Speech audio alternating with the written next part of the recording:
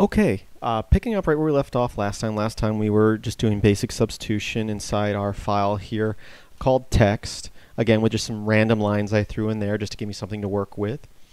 Um, this time we're going to look at not just replacing strings, uh, but but giving it a little bit of a uh, somewhat simple, very simple regular expressions to indicate the beginning and the end of a line.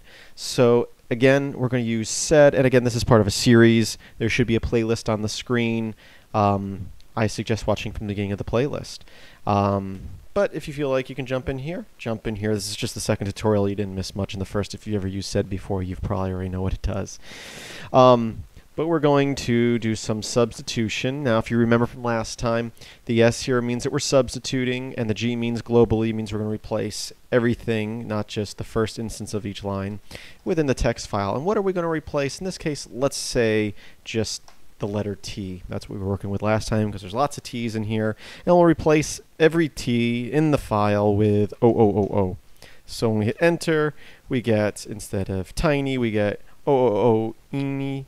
And then uh, we got O's there for the T in toes and O in this instead of the T. So basically every T is replaced with four O's. So let's say I just wanted to replace the T uh, at the that starts at the beginning of each line. So that would be this and tree uh, are both at the beginning of the line. So we're looking for a T at the beginning of the line. What we can do here is we can give it the uh, symbol, which uh, on a standard keyboard, most uh, I know different people have different keyboards, but it's over the six on most keyboards. Um, and so now it's saying this caret indicates the beginning of line, so it's saying we're looking for the beginning of line T. So it's still kind of like it's part of the string, you know. It's uh, we're and what we're going to do is we're going to replace it with O O O O. So now I'll hit enter. And once again, we're not, we don't have our dash i in here, so we're not modifying the original file. We're just displaying it differently. We're going to hit enter here, and you can see that not all of our t's have been replaced, but only the t's that are at the beginning of each line.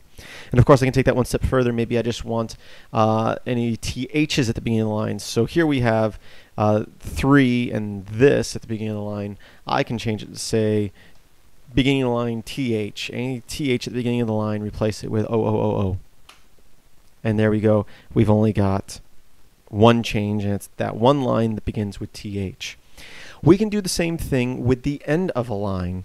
Now, the caret symbol indicates the beginning of line. Well, a dollar sign indicates the end of a line. So this is going to find every line that ends with a T. Because it's going to be T and then the end of the line and we are going to replace that with OOOO. And I'll hit enter, and you can see we get the T right there, OOO. And we can do it with E's as well. In this case, we'll, or any string, but uh, we have uh, three that ends in E and twice that ends in E, and they're both at the end of the line. We hit enter, and you can see we've got OOO and OOO there. And of course, if we did two E's, it would only affect the three because there's only one E in twice, and then the end of the line. And again, I cleared the screen by hitting Control L there. Um, you can also type clear.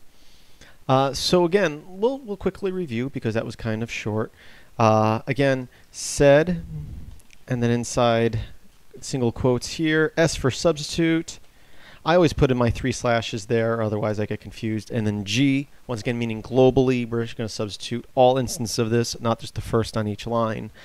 Um, and we're going to say either a line begins with T and replace it with capital T inside our text file. Again, we don't have the dash I in here, so we're not actually modifying the file yet. And there we replaced both these T's with capital T's. And then we can do the same thing, only say that and then dollar sign for end of line.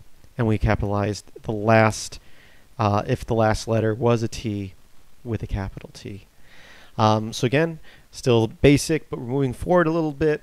I hope you're finding these uh, tutorials useful. Got plenty of sed tutorials coming up for you in the coming weeks. uh, please visit filmsbykris.com. That's Kris the K. There should be an annotation on the screen for the entire playlist. Uh, also in the description should be a link to my website again, filmsbykris.com, Kris with the K.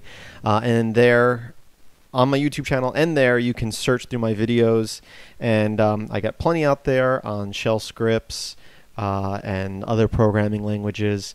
Every Monday, some sort of shell tutorial uh, for the Linux operating system. But again, sed is a uh, used on many operating systems, uh, Unix-like and Unix-based, and sed is also available for Windows. It's just not installed by default. So sed is a very useful tool. Uh, we're going to get to know it a little bit better in the coming weeks. Hope to see you next week, and I hope you check out the playlist. Um, and I hope that you have a great day.